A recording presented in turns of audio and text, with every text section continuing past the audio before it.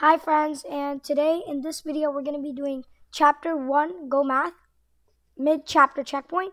It's going to be a series of 2 or 3 videos. So, let's do it. A group of 3 digits separated by commas in a multi-digit number is a period. I have it um, circled, so let me just select this. Take the period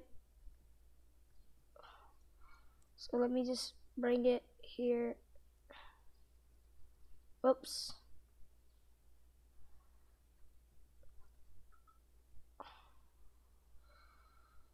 I don't know why. Let me just and then paste it right here and period.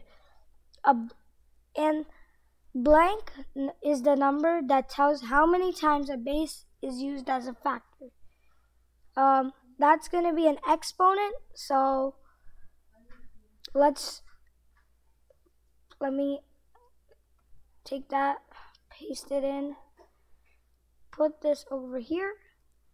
And now there we have um, the first question or the first like choose a term like the first vocabulary done.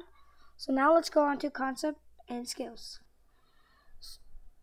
So now um, we have um, co complete the sentence, and I did write.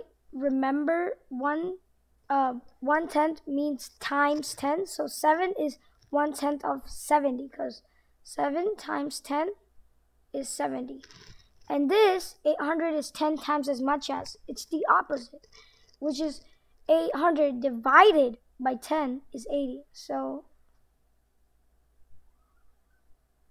80. Now write the value of the underlined digit. So the value of this is going to be 80,000. So let me write that. I don't have my pen right now, so it's going to be bad handwriting. Okay, so this is going to be 600 because 1, 2, uh, you see that it's in the hundreds place hundred place.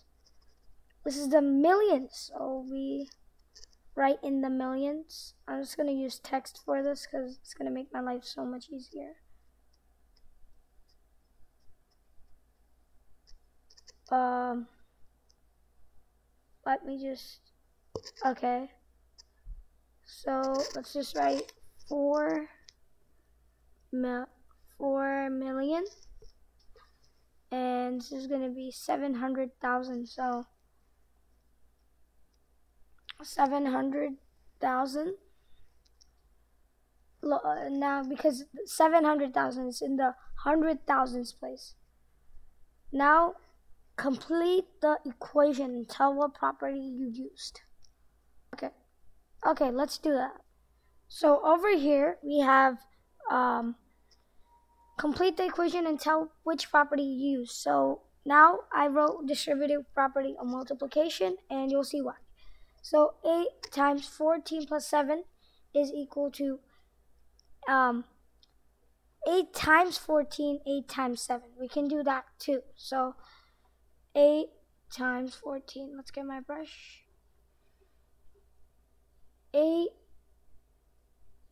times 14.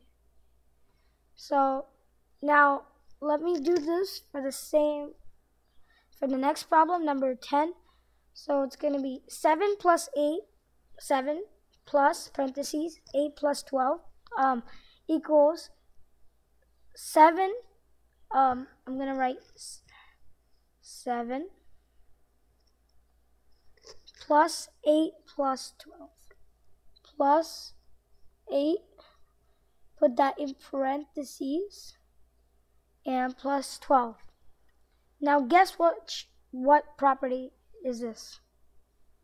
Uh, if you said um, associative property of addition, then bingo, you're correct. So let me just use my text thing. There, associative, oh, associative property of Addi oh. Uh-oh. Um, uh-oh. Wait, it's associative property of addition. Let me just write that again. I don't know why it's not coming up. It's supposed to be associative property of addition. So let me just drag this out right here. So associative prop. Uh oh. Okay, associative property of addition. So I'll post the next part in like one or two days, and I'll see you in the next video. Bye. Peace.